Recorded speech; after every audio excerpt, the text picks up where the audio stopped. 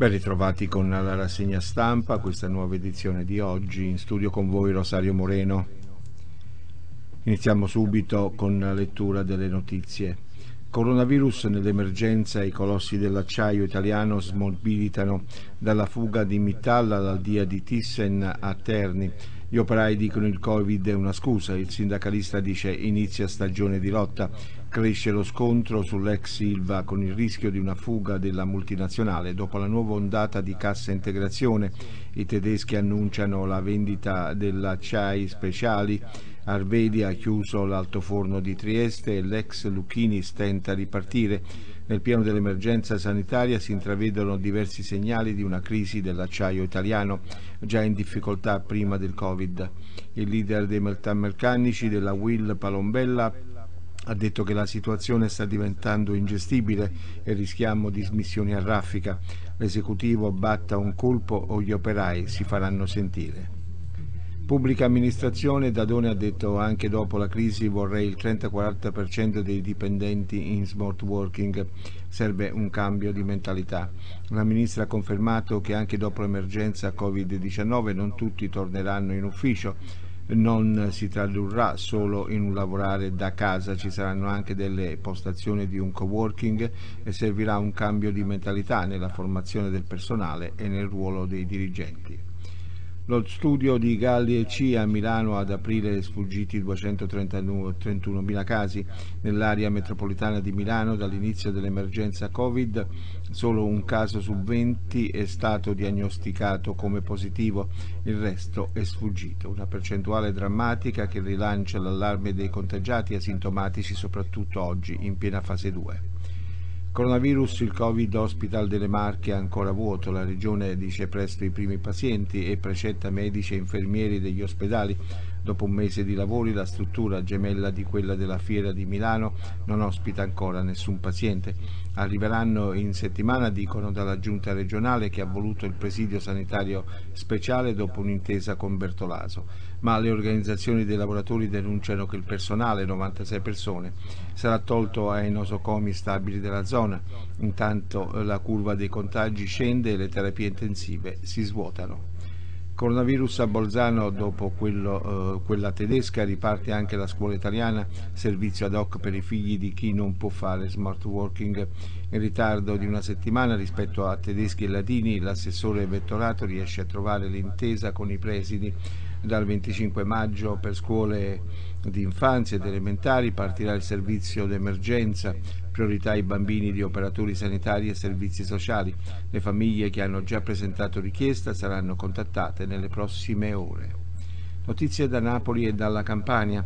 Napoli vendevano patenti di guida, eh, di guida e nautiche false a 3.000 euro, sono stati arrestati vendevano patenti false, quelle di guida tra 3.000 e 3.500 euro, quelle nautiche a 2.000 euro, facendo credere ai loro clienti di avere delle aderenze presso la motorizzazione di Roma Laurentina e quanto hanno scoperto i carabinieri del comando antisofisticazione monetaria della capitale che, coordinati dalla Procura di Napoli Nord, hanno notificato nei confronti di 12 persone 4 arresti domiciliari, 4 obblighi di, di dimora con obbligo di presentazione alla Polizia Giudiziaria e 4 divieti di esercizio dell'attività professionale da 6 mesi a un anno gli indagati sono accusati di associazione per delinquere finalizzata alla falsificazione e allo smercio di, eh, smercio di patenti di guida in nautiche e concorso nella produzione e utilizzo di valori bollati falsi.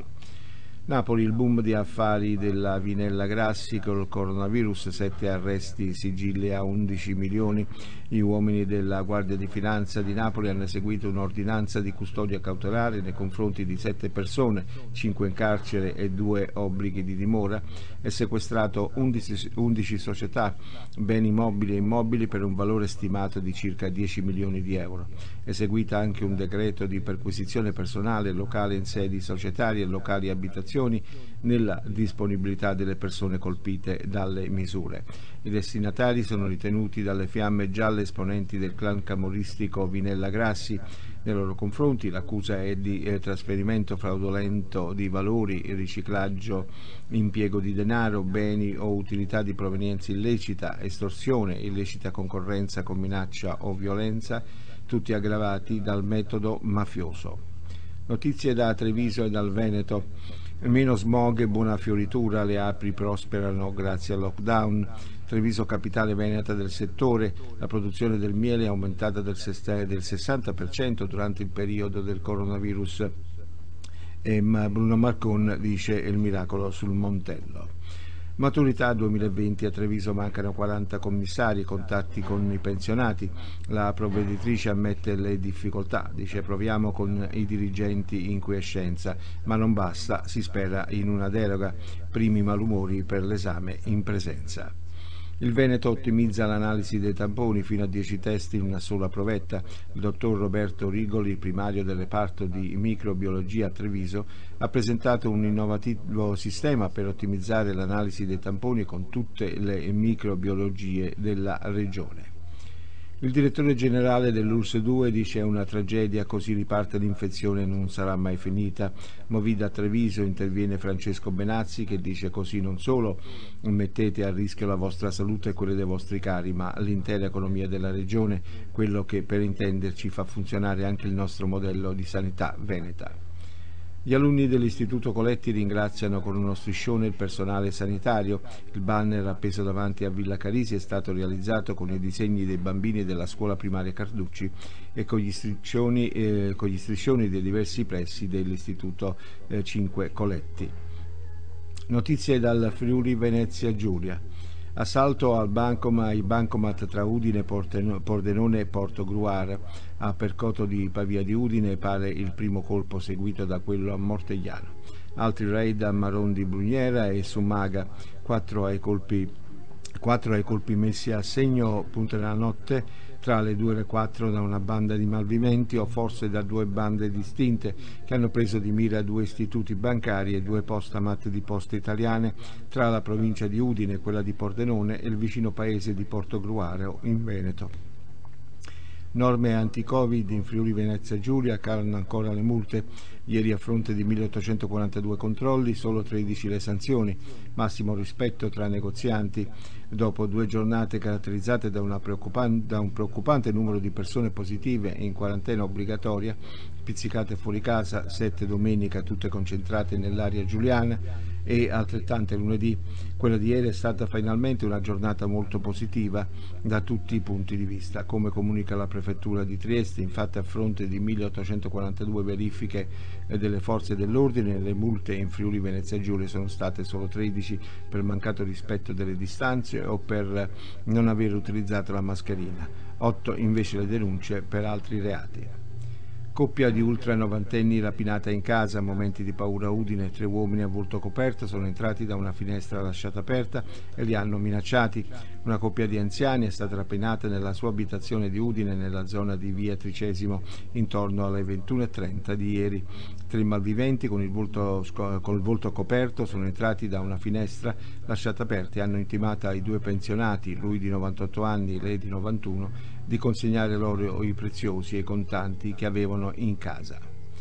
Lite tra due fratelli finisce nel sangue, successo nella tarda serata a Cervignano, protagonisti due colombiani, uno è stato accoltellato, finisce nel sangue. Una lite scoppiata tra due fratelli di nazionalità colombiana in via della Colonnella, una laterale della strada regionale che poi porta a Gorizia a Cervignano del Friuli. Nella serata intorno alle 21 per cause in corso di accertamento da parte dei carabinieri della compagnia di Palmanova intervenuti sul posto dopo l'allarme i due uomini si sono messi prima a litigare alzando la voce e poi uno dei due ha estratto una lama sferrando uno o più fendenti.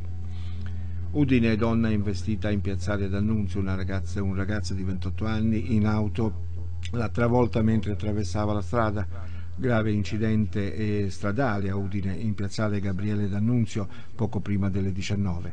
Per cause in corso di accertamento da parte dei carabinieri del capoluogo friulano, intervenuto per i rilievi e viabilità, una donna di 52 anni, cittadina straniera, è stata investita da una Fiat Panda condotta da un giovane italiano di 28 anni. La vettura, da quanto si è potuto eh, apprendere fino ad ora, da, proveniva da Piazzale D'Annunzio e stava andando verso Viale Palmanova. Cari amici, termina qui questa edizione della rassegna stampa. In studio con voi Rosario Moreno. Buon proseguimento con la programmazione.